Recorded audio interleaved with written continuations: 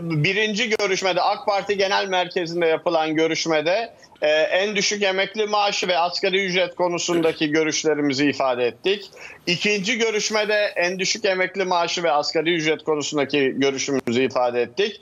Ve dün Genel Başkanımız e, verdiği beyanatta e, Malatya'da ifade etti. E, son kez yarın e, bu konunun altını bir kez daha çizeceğiz. Eğer zamanında e, emekli en düşük emekli maaşı ve asgari ücretle ilgili bir iyileştirme yapılacağı e, öngörüsünü e, almazsak, öyle bir izlenim almazsak bu konuda milyonlarla birlikte sokakta olacağımızı ifade ettik. Yani e, hemen hemen benzer şeyler ama birisi görüştükten sonra e, sokakta toplumsal muhalefeti örgütlemek, bir tanesi eğer yapacağınız konusunda bir niyet beyanı yoksa sizinle görüşmeyiz demek. E, farklı farklı stratejiler ama sonuçta ikisinde de Türkiye'nin milyonlarını ilgilendiren bu iki e, konuda iyi niyetli bir e, girişim var. Üçüncü kez e, iktidarla bu konu üzerinde üstüne basa basa basa konuşulmuş olacak. Zaten birkaç gün sonra da yani önümüzdeki pazar günü de Kocaeli'de çok büyük bir emek mitingi yapılacak ve o emek mitinginde hem bugün emek verip hakkının karşılığını alamayanlar hem de bu zamana kadar yıllara e, sarı e, emeğini vermiş e, ama hakkını alamamış emekliler, çalışanlar, asgari ücretliler, beyaz yakalılar, mavi yakalılarla hep birlikte e, olunacak. E, Salih Bey e, söyleyeceğim bu. Peki, İkinci e, bir mesele şu. E, CHP bunu bir iletişim stratejisi olarak görüyor e, dedi Salih Bey. E, başta ifade ettim, tekrarlamak zorundayım. Bunu sadece bir iletişim stratejisi olarak görmüyoruz. Keşke söylediklerimizden bir ders alsalar, çıkartsalar veya e, tesir altında kalsalar, uygulansa da muhatapları rahatlasa. Bekliyor musunuz? E beklemiyoruz ama keşke olsa. Bu sefer iş siyasal iletişim kısmına geliyor. Ayrıca Salih Bey'in beşeri ilişkiler konusuna söylediklerine de e, çok teşekkür ediyorum. Biz e, iki dost, abi kardeşiz. Kendisine de ayrıca Yavuz teşekkür ederim. gideceğim. Bir cümle Teknik bir eğer soru, uzun değilse. Teknik bir soru soracağım. Ee, Umut Bey şey dediniz ya, e, eğer biz e, bu noktada bir iyi niyet beyanı görmezsek zaten devam etmeyiz. Peki iyi niyet beyanını gördünüz. Mesela dediler ki tabii biz emeklerin durumuyla ilgili bazı adımlar atacağız dediler. Ama bunun ucunu açık bıraktılar.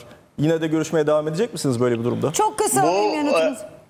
Bir defa şöyle, bu Maliye Bakanı ile yapılacak olan görüşmenin devamı yok.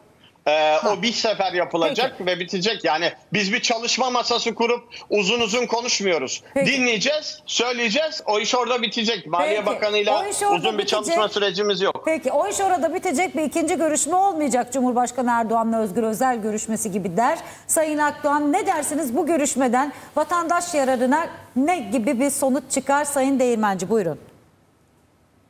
Sinemanın bağlantı sorunları yaşıyorum. Tekrar eder misiniz son cümlenizi? Hayırlı akşamlar diliyorum vatandaş size ve yararına ne gibi bir sonuç çıkar bir kez gerçekleştirilecek sadece bir kez gerçekleştirilecek bu görüşmeden? Evet yani burada tartışma konusu CHP ile AK Parti arasında müzakere olsun mu olmasın mı şeklinde bir, sanırım tartışma yürütüldü. Sayın Milletvekili, CHP Milletvekili bence gayet e, mantıklı açıklamalar yaptı bu konuyla ilgili. Ben e, CHP'nin bu süreci, müzakereleri yürütmesini baştan beri olumlu bulan e, taraftaydım. Tabii ki mevcut iktidar büyük bir enkaz bıraktı ülkede. Hem ekonomide hem hukukta, demokraside, özgürlükler alanında her alanda büyük bir enkazla karşı karşıyayız. Ama bu şu demek değil, siyasette diyaloğun olmaması anlamına gelmiyor. Karşınızdaki aktörün, e, liderin yani Recep Tayyip Erdoğan'ın iktidarda kalabilmek için her yolu deneyebileceği, güvenmez bir aktör olduğu gerçeğini de yadı, e, kenara koymuyorum. Bu, bu tespit doğrudur. İktidar her yolu dener. E, bu süreci hafifletmek için veya e, bu sürecin yükünü CHP ile beraber paylaşabilmek için adımlar atabilir ama toplum sonuçta siyasetçileri, partileri izliyor. CHP büyük bir başarı elde ederek yerel seçimlerden birinci parti olarak çıktı. Bu ona büyük bir sorumluluk yüklüyor. Bütün partilerle, bütün toplum kesimleriyle diyalog kurma, merkez parti olma sorumluluğunu yüklüyor CHP'ye. CHP lideri ve yönetimi de parti olarak bence bu süreci işletiyorlar. Bu anlamda Sayın Mehmet Şimşek'le yapılacak görüşmeyi de ben doğru buluyorum. Bu görüşmeden e, kimse bir zarar görmez. Önemli olan o görüşmede hangi tezleri ileri süreceğiniz, neler talep edeceğiniz, kamuoyuna hangi mesajları vereceğinizdir. Bugüne kadar da e, CHP e, ekonomi anlamında da birçok e, görüşme yaptığı görüşmelerde taleplerini, toplumsal talepleri muhataplarına iletti. Bunların bir kısmını da zaten paylaştılar. E, mitingler yapılıyor, tematik mitingler yapılıyor. Emeklilerle ilgili yapıldı, çiftçilerle ilgili, çay üreticileriyle ilgili, buğday üreticileriyle ilgili işte Sayın Vekilin açıkladığı şekilde bunlar devam edecek önümüzdeki süreçte ki devam etmeli. Çünkü her kesimin sorunları devam ediyor. Hiçbir sorun çözülebilmiş değil. Yarın Mehmet Şimşek'le görüşecekler. Mehmet Şimşek e, kusura bakmasın bu nitelemeyi yapacağım ama bir kukladır.